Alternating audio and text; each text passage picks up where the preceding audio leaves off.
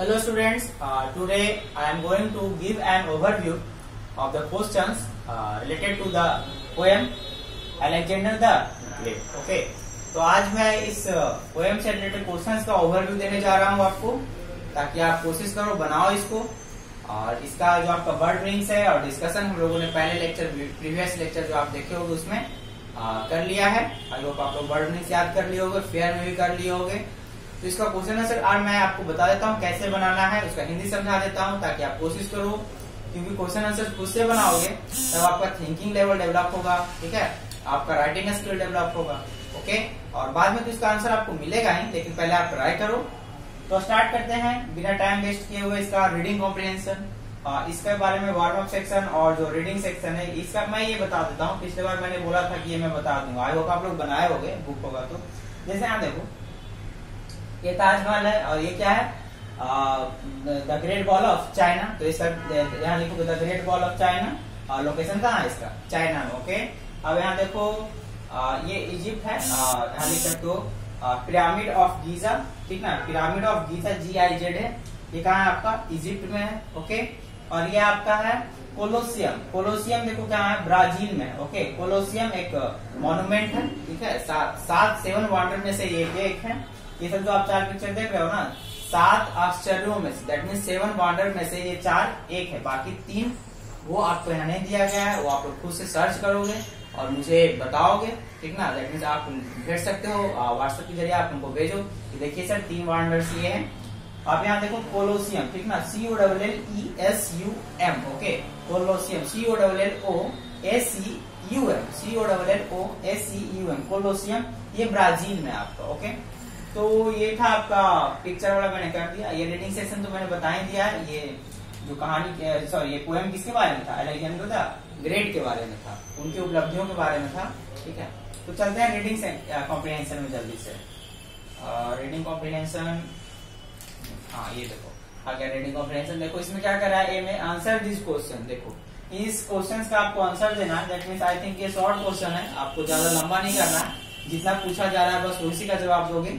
आपका ये लॉन्ग हो सकता है। ये शॉर्ट है आपका। जैसे यहाँ देखो which country was Alexander originally the king of तो अलेक्जेंडर कहाँ के राजा थे? तो आप लिख सकते हो विच कंट्री ना? हाँ Alexander was originally the king of Macedonia Alexander was originally the king of Macedonia okay अब सेकंड क्या है? Which great philosopher taught Alexander तो अलेक्जेंडर को किसने कौन से आ, बड़े दार्शनिक ने पढ़ाया था? तो अरिस्टोटल ने पढ़ाया था ना?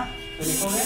Aristotle the great philosopher taught Alexander okay third में name the cities and countries that Alexander conquered तो उन सब सिटीज़ का नाम लिखना है, देशों का नाम लिखना है, जिस पर अलेक्जेंडर ने अपना कब्जा किया था, ठीक ना? जीत हासिल की थी।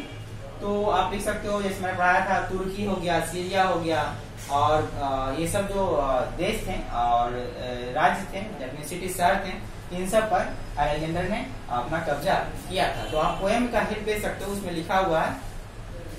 ओके यहाँ देखो four number for how many years did Alexander wage war तो अलेक्जेंडर ने कितने सालों तक how many years did Alexander wage war तो कितने सालों तक लड़ाई युद्ध किया था अलेक्जेंडर ने?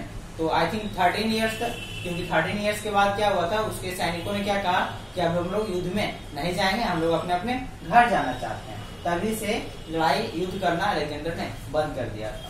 Okay list three great qualities that Alexander possess देखो आपको तीन क्वालिटीज लिखना है दैट मीन थ्री एडजेक्टिव लाओ अलेक्जेंडर के uh, बारे में दैट मीन्स ग्रेट ब्रेव ये सब हो सकता है ठीक ना? वाइज ये सब लिख सकते हो आप या ये सब इसको क्वालिफाई करते हैं अलेक्जेंडर को विशेषता बतलाते हैं।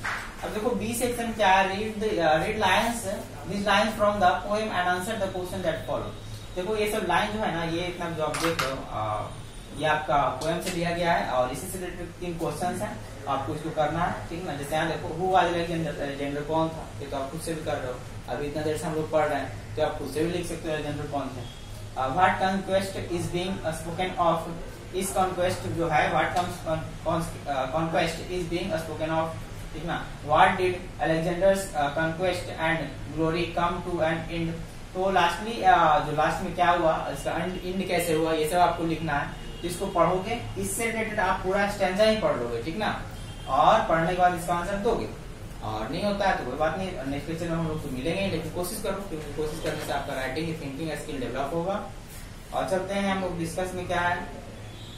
देखो डिस्कस में क्या करना है? Why was Alexander known as Alexander the great तो अलेक्जेंडर का नाम प्रख्यात हुआ कैसे? अलेक्जेंडर के अलेक्जेंडर द ग्रेट के नाम से कैसे जाने लगे थे? तो क्योंकि वो ब्रेव थे बाइस थे, उन्होंने कई सारे युद्ध लड़े और उनमें से जो बहुत कम ही युद्ध है, जो हारे थे, ठीक है। तो इस तरह से आप लिख सकते हो, बाकी आंसर तो आपको मिलेगा, पहले आप कोशिश करो।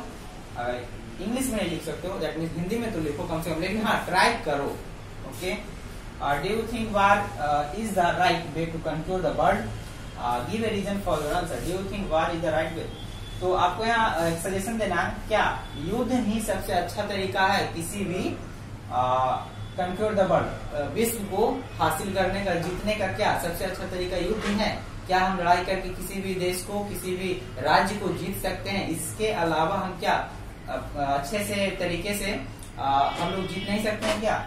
तो ये था अगर आप कहते हो कि हाँ ये सही तरीका है तो इसका आंसर दो, ठीक है? अगर नहीं कहते हो कि नहीं इससे और भी बेटर तरीके हो सकते हैं किसी भी देश या राज्य को जीतने के लिए। तो उसका भी आंसर आप रीजन में दोगे, ठीक ना?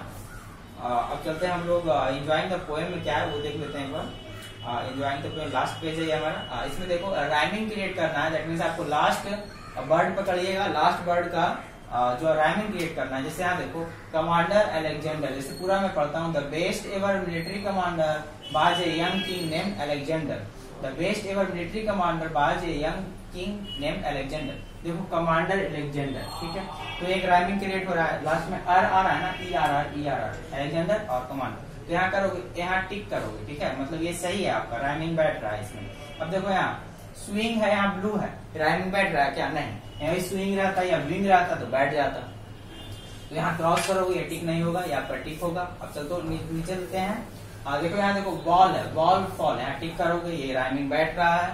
यहाँ देखो विचेज है डिचेज है। यहाँ भी राइमिंग बैठ रहा है, टिक करोगे। यहाँ देखो सी है माइट है। यहाँ राइमिंग बैठ नहीं रहा है क्योंकि यहाँ सी है, अगर यहाँ बी रहता, उस टाइप से कुछ रहता तो हम लोग इसमें भी टिक कर देते, लेकिन यहाँ क्या होगा क्रॉस होगा। लास्ट हमारा क्या बचा? स्पेस और फेस यहाँ राइमिंग बैठ रहा है तो इसमें भी टिक करोगे, ठीक है?